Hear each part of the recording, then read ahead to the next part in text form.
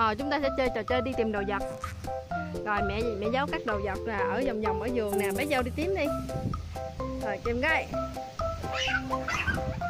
đâu? Được cái gì? À sữa cun, một hộp sữa cun. Rồi, bỏ vô vỏ đi. Đâu nữa? Sữa gì đó đưa mấy bạn coi coi. Sữa con bò. Rồi, đâu nữa? Sữa gì? Sữa nho. Đây, đưa cho mấy bạn coi coi rồi, ở đâu nữa? Kéo gì? Kẹo mốt lấy xuống. Đây nè mẹ lấy chưa rồi. rồi, ở đâu nữa? Đâu? Đâu đưa bạn coi đưa lên.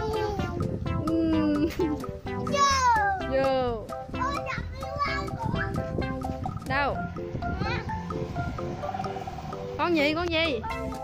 Đâu, đưa lên coi, đưa lên các mấy bạn coi coi con gì. Lemon, rồi.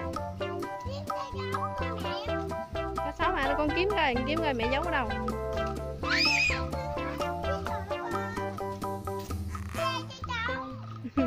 Đâu đâu, để cá sấu à để cá sấu lên cho nó bò, trên trên kênh cỏ coi. U cá sấu bự quá bây giờ đưa cái sấu lên coi.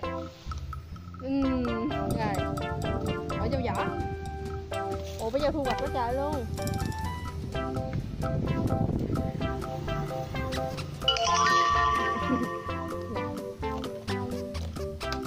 Rồi rồi con đi tìm tiếp đi mẹ còn giấu nữa đó.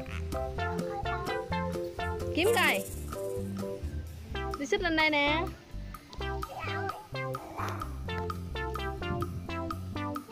Đâu đâu con kia nhìn coi nhìn coi có thấy không?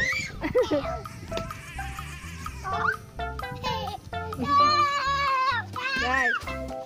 Ở đâu nữa nè? Đi vòng vòng vườn coi.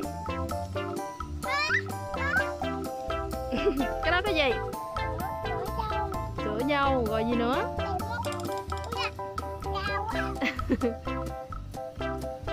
Sao lấy được đây giỏi quá. Tìm nữa coi còn không?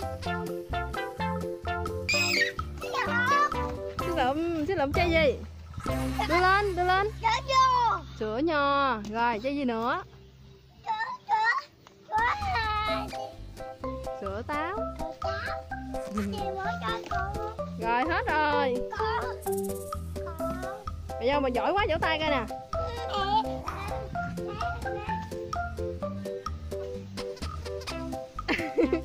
được rồi, đưa lên đưa lên cây. Rồi, hết rồi, bạn giao giỏi quá rồi, đưa lên giới thiệu cho các bạn coi coi. Thì các bạn coi coi. Tuổi gì nè? Tuổi nho